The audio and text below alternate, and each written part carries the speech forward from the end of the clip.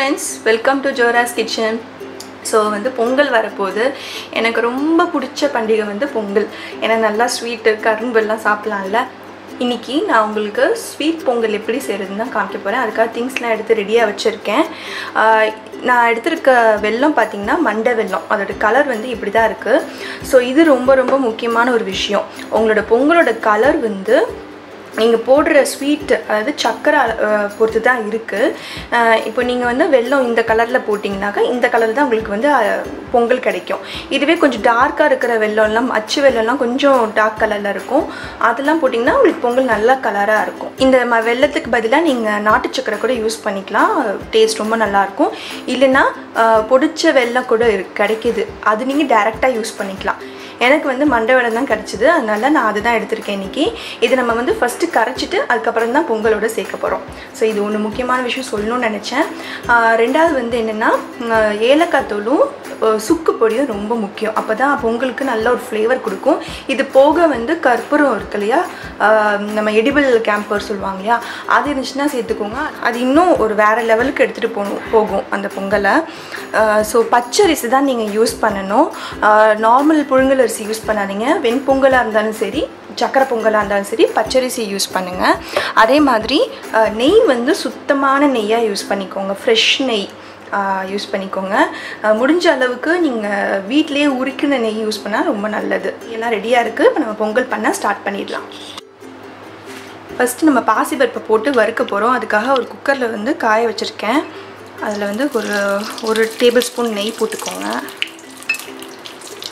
கால் cup அளவுக்கு பாசிப்பருப்பு எடுத்திருக்கேன் ஸோ அதை லைட்டாக வறுத்துக்கலாம். ரொம்ப நேரம் வறுக்கணும்னு அவசியம் இல்லை. ஜஸ்ட் லைட்டாக வறுத்தாலே போதும். இது லைட்டாக வறுத்துருச்சு நம்ம எடுத்துடலாம். வறுத்த பாசிப்பருப்பை நம்ம முதல்ல வாஷ் பண்ணிடணும். ஏன்னா நம்ம முதல்ல கழுவாமல் தானே சேர்த்துருக்கோம். அது கூட அரை கப் அளவுக்கு பச்சரிசி சேர்த்துக்கோங்க. சேர்த்துட்டு இது ரெண்டுத்தையும் நல்லா வாஷ் பண்ணிடுங்க. ஒரு ரெண்டு தடவை நல்லா வாஷ் பண்ண பிறகு காமிக்கிறேன்.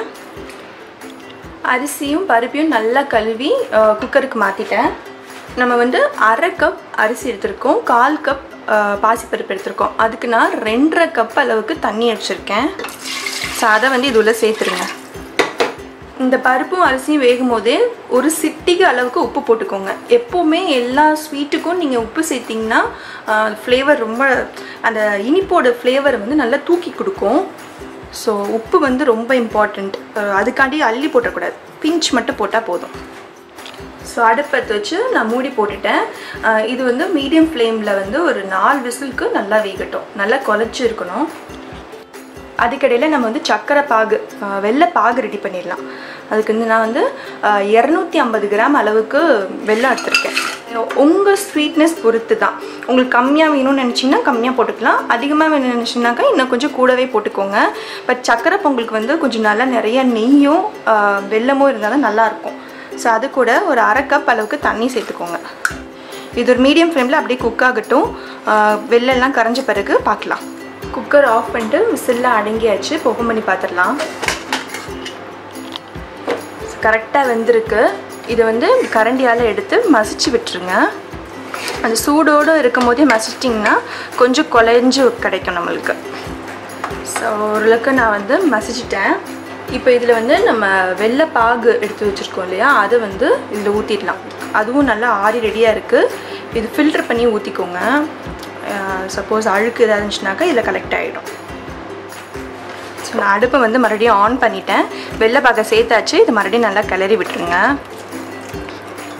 இப்போ இது கூட வந்து கொஞ்சம் கொஞ்சமாக நெய் சேர்த்து நம்ம கிளறிட்டே இருக்க போகிறோம் கொஞ்சம் நெய்யை வந்து சேவ் பண்ணிக்கோங்க முந்திரி பருப்பும் திராட்சை வறுக்கிறதுக்கு. இதில் வந்து ஏலக்காய் தூளும் சுக்கு பொடியும் போட்டுக்கோங்க. எனக்கு வந்து இனிப்பு கம்மியாக இருக்கிற மாதிரி இருந்துச்சு. அதனால் நான் ரெண்டு டேபிள் ஸ்பூன் அளவுக்கு நாட்டு சக்கரை போட்டுக்கிறேன். நெய்யெல்லாம் ஆட் பண்ணியாச்சு. இப்போ இதில் வந்து கொஞ்சமாக பால் சேர்த்துக்கோங்க. சில பேர் பால்லே பொங்கலில் வேக வைப்பாங்க. அப்படின்னு செய்யலாம். சில பேர் ஒன்றுக்கு பாதி பால் தண்ணி ஆட் பண்ணுவாங்க. ஸோ இப்படி வந்து இது மாதிரி தண்ணியாக தான் இருக்கும் அது கொஞ்சம் தளர்ந்து தான் இருக்கும். நேரம் ஆக ஆக உங்களுக்கு கெட்டியாயிரும். ஸோ நீங்கள் கெட்டியாகிற வரைக்கும் வெயிட் பண்ணணும் அவசியம் இல்லை. அந்த மாதிரி நீங்கள் பண்ணிட்டீங்கன்னா ரொம்ப ஹார்டாயிரும் சைட்லேயே நம்ம வந்து முந்திரி திராட்சையும் வறுத்துடலாம்.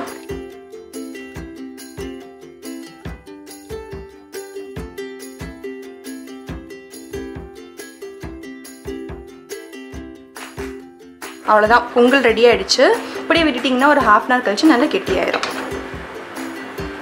அவ்வளோதான் ஃப்ரெண்ட்ஸ் நம்மளோட பொங்கல் வந்து ரெடி ஆகிடுச்சு கொஞ்ச நேரம் கழித்து பார்த்தீங்கன்னா எவ்வளோ திக்காக இருக்குது பாருங்கள் உங்களுக்கே தெரியும்.